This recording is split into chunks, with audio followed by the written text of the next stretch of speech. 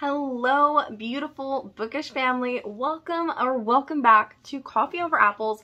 My name is Steph. Today I have a very polarizing gush slash rant for the book that I finished very recently, Project Hail Mary by Andy Weir. Now, I am going to go non-spoilery and then spoilery, but a majority of the stuff that I want to say is going to be in the spoiler section. I don't know how long this video is going to be. I'm just gonna ramble. You grab a snack and sit tight because this is a very popular science fiction book from 2021. It won like Goodreads Choice Awards. It won so many awards. I'm pretty sure it's going to be adapted into a movie because it feels like it's been written for the screen. But um, I got some issues. I have some issues. So much so that I originally rated this four stars and I'm considering knocking it down to either a three or 3.5 because the longer I sit with it, the more something just doesn't feel right.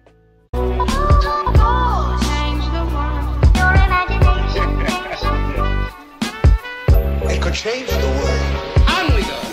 Alright, giving you the gist of this in the non-spoiler section first. There's a reason that not much is told to you on the back of the book because even understanding what the thematic uh, subgenres of science fiction that this is is going to be very spoilery. So essentially, we're following Ryland Grace, who is an astronaut and woke up in space in a pod. The other people who were in pods next to him are all dead. He doesn't know what he's doing there. He's trying to figure it out. There's a lot of flashbacks. The world is at stake. Everything is resting on his shoulders for him to figure out how to stop the dimming of the sun. Okay. Um, listen, I don't think Andy Weir knows how to write people.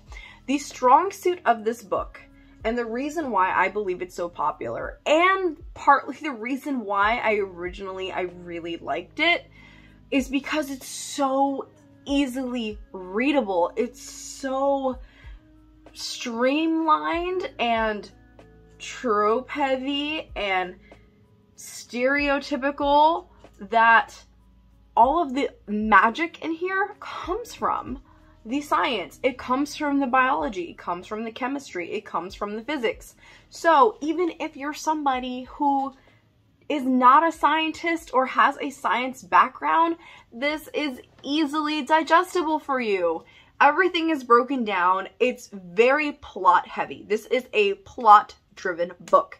And I typically define myself as a plot driven reader. So I was eating this up like candy. As we're going along, our main character is explaining why they're doing what they're doing, how these uh, equations function, how it is that the experiments that they're doing work, and why it's the only alternative or what other situations there could be. So there's a lot of time in this book that is spent justifying itself, meaning I felt really comfortable. Like after the first couple experiments, I mean, trying to think about using the bit of science knowledge that I have being a science buff and having taken some physics classes in undergrad, which was like eight years ago or something at this point. So God, if I can remember what that was like. Um, but at a certain point, there's just so much science that unless you're really going to sit there and research and look into every single thing, it becomes pretty evident that, okay, the science here is pretty solid up to a majoritively believable degree, even though considering that we're in space, we're on a mission to another solar system and all these things are happening and there's so many hypotheticals.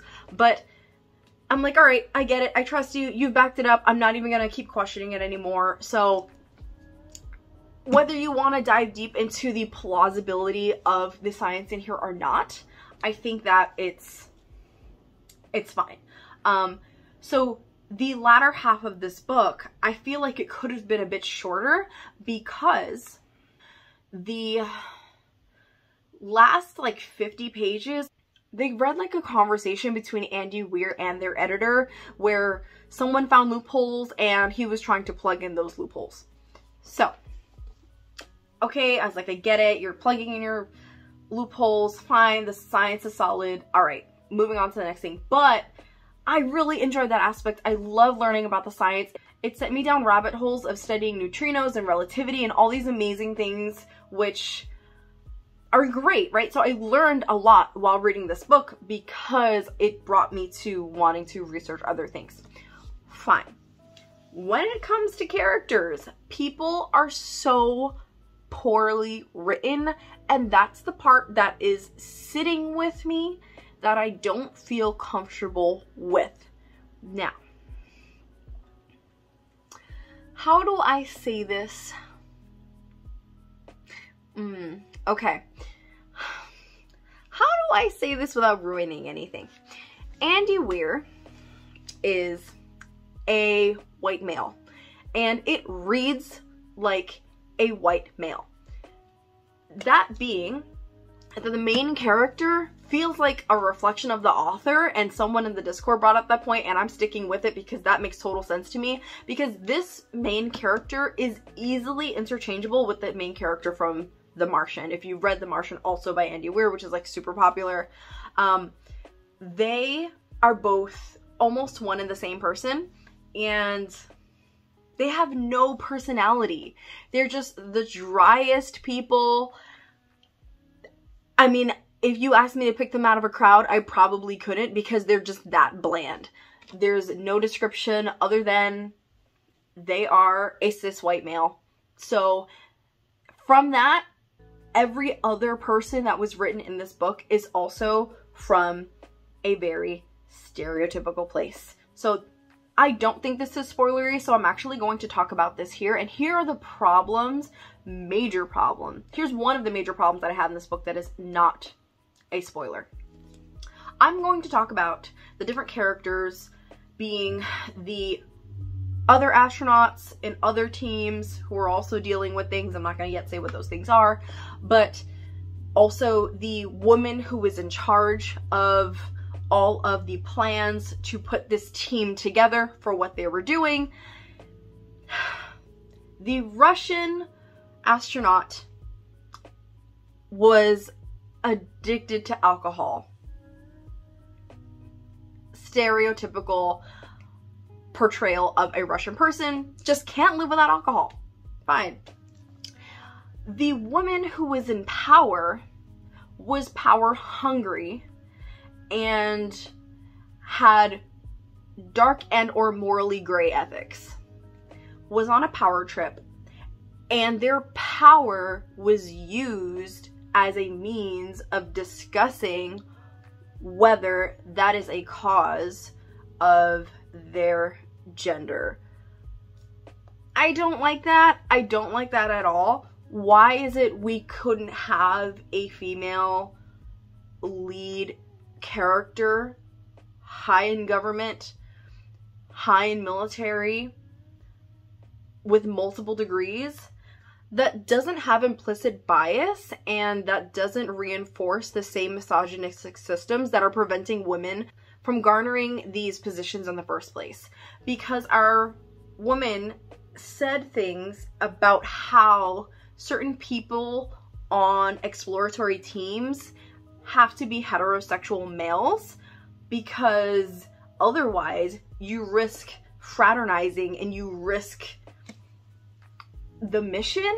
No, absolutely not. Completely disregarding any kind of LGBTQIA representation, and I'm also going to get into that later in the spoiler section because that happens again later on with our main character. Um, but also that not trusting that people can be professionals and kind of insinuating that women poison any expedition or kind of professional place by bringing in emotions and sex and are not able to conduct themselves in a professional manner, that's kind of gross. that she would insinuate that. And just because our main character had a short one line retort against that does not mean that the author was subverting that by any means. So, here's the other character that I had a serious problem with. The Asian character is like stoic, quiet, only speaks when they have something to say. Stereotypical, quiet Asian TV personality. So, again, reinforcing these specific tropes. There's another white male character who talks a lot about the Beatles. I think it was the Beatles. Um, so, and is also a bit more aggressive in their manner in speaking with the main character. So, again, reinforcing a stereotypical white male trope. And then, and then, there is the one black guy, the one black character, and there is a scene in which our main character is talking to the woman that is in power. And she says the misogynistic thing that she says about having opposite sexes on missions. And our main character makes a comment. I can't remember what the exact words were, and I didn't tab it, and that's a mistake that I should have made. I should have been tabbing this as I went along. But um, says something about like if you act that way about this, then what are you gonna insinuate that because this person is black that they automatically like like basketball and listen to rap and things of this nature, which means that the author, Andy Weir, is conscious of stereotypes and therefore has tried, I want to put tried in double quotations because to me, if I could do triple quotations, wait, eh, eh, eh, eh, eh, eh, eh, eh, like quadruple quotations, um, the only black character makes an appearance and they have absolutely zero personality. So we're allowed to see a stereotype of multiple other ethnicities and nationalities, but in order to in order to be safe, don't give the black guy any kind of personality because if you did, then the only kind of personality he'd be able to have would be a stereotypical black guy. How would he be authentic? Like, no. That's just no. I'm sorry, Andy Weir. No, that's that's not it. Um, so he has no personality. Everyone else has some semblance of some personality, but our one black person has no personality because it would be too dangerous to give him a personality because black people can only be successful if they have no personality. Like that's what I got from this and that made me feel uncomfortable. So, hence why I'm dropping two stars. Um, now, was that a major portion of the book? No, not at all actually. That was like a very small portion of the book. But when I move into spoilers, there's other things that come up that feel like a perpetuation of the author's ideologies. So, if you love science, you will love this book. If you love plots, you will love this book. If you love zero character development, you will love this book. I'm realizing about myself that there is no amount of plot that can justify zero character development. Unless, unless there are certain situations in which it is justified. Um, and I will not go into that in this video. There are, I think, other situations in which it is justified that there's very zero character development because that is the focus of the story, but that was not the focus of the story. I think they were just scared to write character development because they don't know how to write characters. That is my opinion. Sorry, Andy Weir, but that's how it reads. The last thing I'm going to say in this non-spoilery section is um, you know, I understand why everyone loves this because it's so fast paced and it's easy to get lost in the like volume and gravity of what's going to happen if this mission doesn't succeed. But it's Andy Weir. So if you've read Andy Weir's other books, then you kind of know what's going to happen at the end because there's a ton of conveniences in here. And honestly, I am going to say sometimes I do like things that are just like really easy to read. And because of that, it's not the conveniences in here that bother me so much. Like they do bother me that everything was so perfect. It does. I would say on a scale of 1 to 10, I'm bothered at like a 3 because I don't like convenience. But I already had the expectation that everything was going to turn out the way that it did. So, you know, take that as you will. Um, but I am now going to move into full spoilers because that's all I have to say for non-spoilers. There's so much here that I want to talk about and I can't talk about any more of the plot without giving it away. I say expect this to be a movie. But moving into full spoilers. All right. Here's the thing. Um so let's talk about the teacherness for a second. Um I'm a teacher and the representation of what it takes to be a teacher that has come up in Andy Weir's writing, I don't like. Because he's insinuating, again, a societal norm or societal understanding that if you suck at your profession, just be a teacher. That's such an easy backfall career.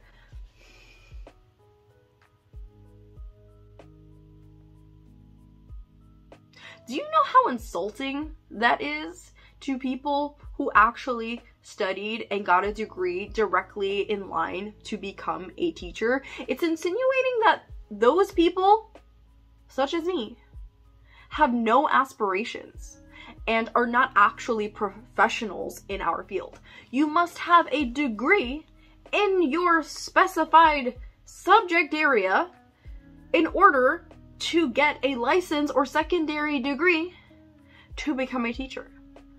And a good portion of teachers are practicing professionals. And I don't even like that terminology in itself because it's insinuating that teachers who do not have a other platform or side career that is related to their subject area of knowledge are not professionals in practice, and that's not true either. Like, math teachers are mathematicians.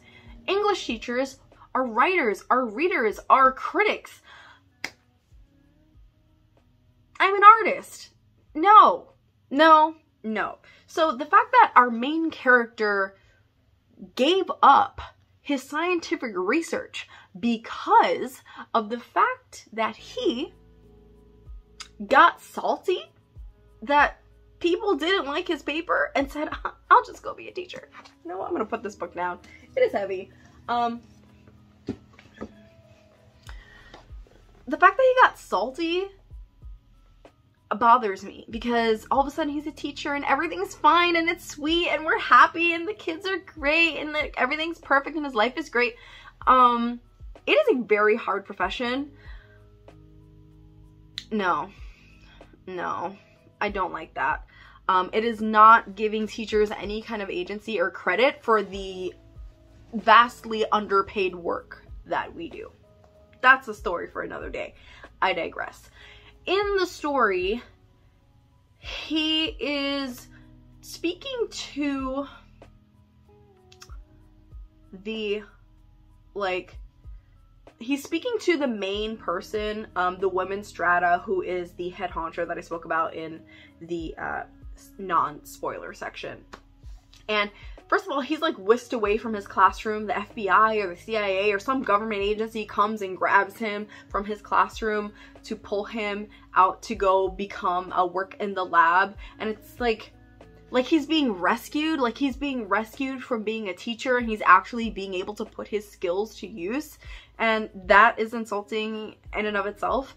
But when he's talking to Stratt, Stratt says something to him along the lines of, Oh, well, did you really think that I brought you here because you're a teacher? I brought you here because of your knowledge. And he goes, Oh.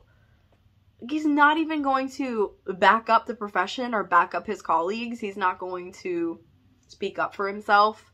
Um, so he is also showing implicit bias against the profession and against his colleagues. Fine. At the end of the book, he actually ends up becoming a teacher to baby aliens, which is like, that was so cute. I'm not gonna lie. That scene was adorable. But now it's supposed to be sweet again that he's a teacher because he saved the world and now he's settling down because teacher equals settling.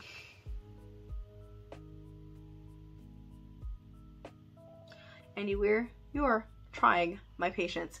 Um, but, but, this video is actually turning into a rant video.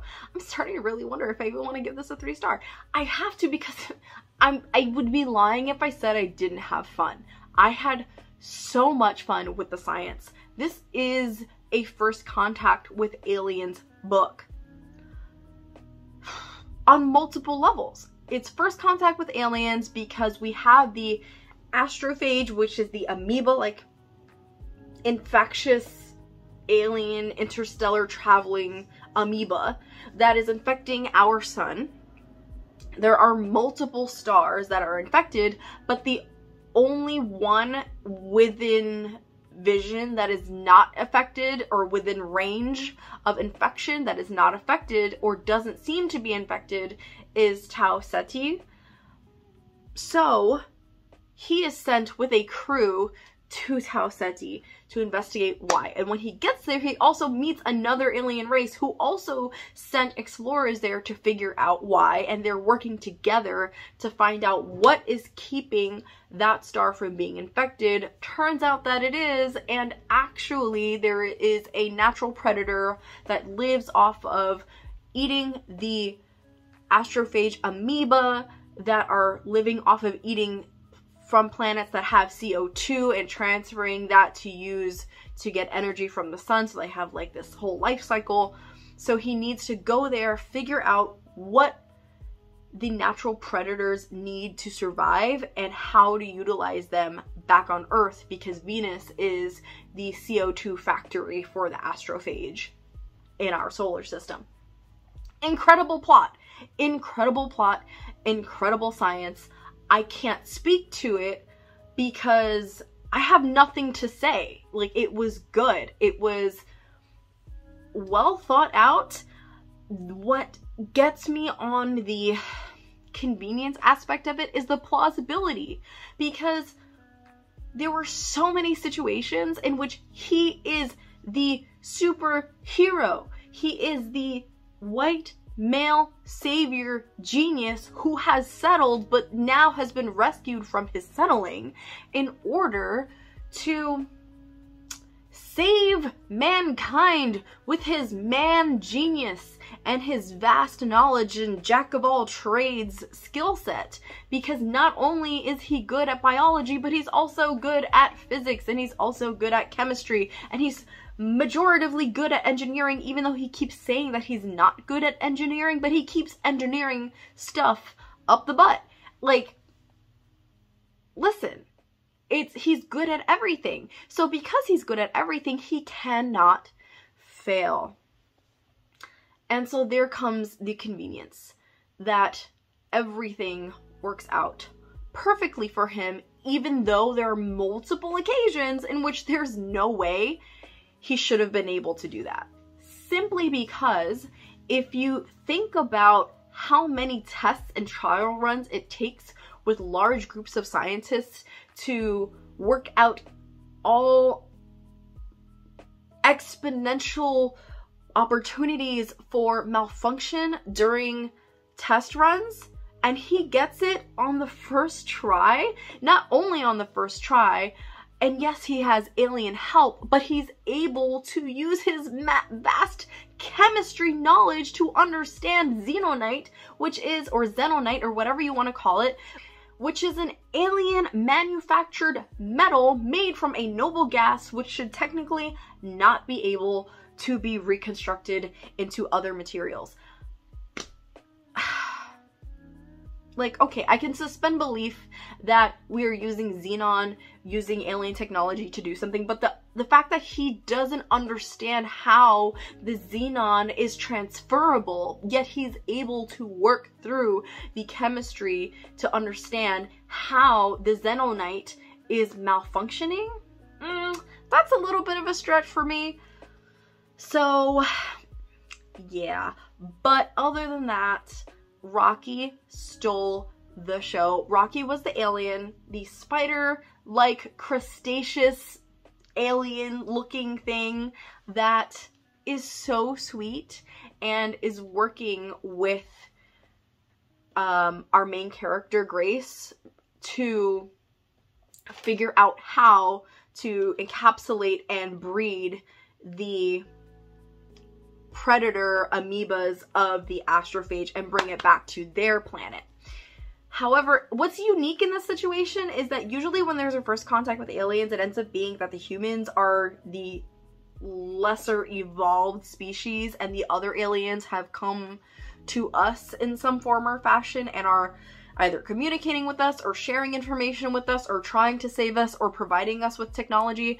But in this case, it is the humans that are providing the technology because the humans are the advanced race and because of this it is how Rocky has ended up in the situation where he's alone because everyone with him died because they were exposed to space radiation because he doesn't understand radiation. They built their ships in a hurry in order to go and figure out what was happening on Tau Ceti. So, we are the advanced species in this case. And I thought that was extremely interesting. I loved that aspect in the book, which I was writing on this like natural high of being so happy that I was enjoying the science. Like to me, the perfect science fiction has just like, tell me everything. I want to know where the nuts and bolts go. I want to understand why the axle's turning in that direction. I want to understand the equations and the chemistry. I want to understand why you made the decisions that you made. Walk me through. Like, I'm 12, which is fine because I want to learn. I love it. To me, that is the candy in this book. And that is why I initially gave it four stars. But let's talk about Rocky let's talk about Rocky's well-being and let's revisit what I said earlier about the LGBTQIA plus representation here um, and the double downing of stereotypes. So Rocky doesn't have a gender. Rocky's civilization doesn't have gender. Um, they actually reproduce, I believe, not asexually, but all creatures in their species are hermaphrodites. So they each produce eggs and then those eggs are brought together and those eggs kind of um, go through a process of fusing and evolving into a new rocky being. But our main character places a pronoun of he onto Rocky before they understand what Rocky's gender is, or if Rocky has gender, or what their sexual functions are.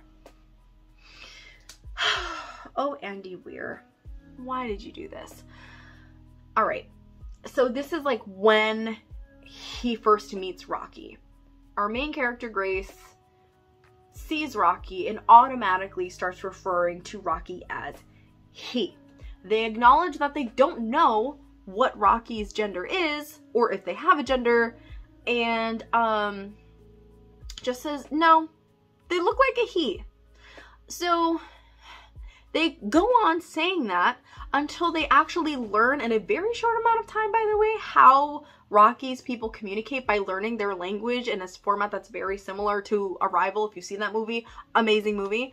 Um, and then once they learn about Rocky's culture, which we know that culture is important to Rocky because Rocky and Grace are both on the same wavelength, that cultures should be respected. They go out of their way to respect each other's cultures. And once they tell each other that what they're doing right now is a cultural norm it is no longer in question.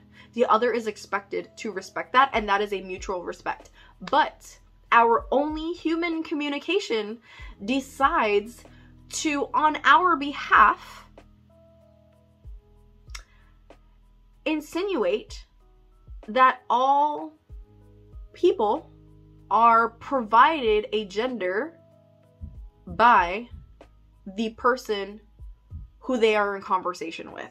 And so, after learning that Rocky doesn't have a gender, instead of referring to them as they, they say, no, I'm still gonna call him he. And I don't like that.